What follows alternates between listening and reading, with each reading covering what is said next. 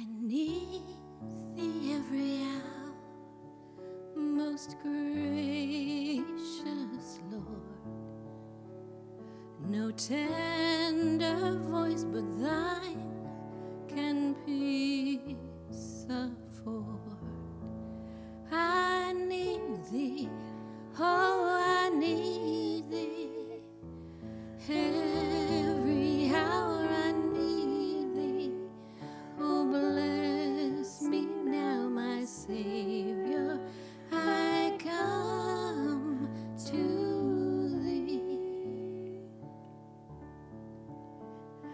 Thee every hour.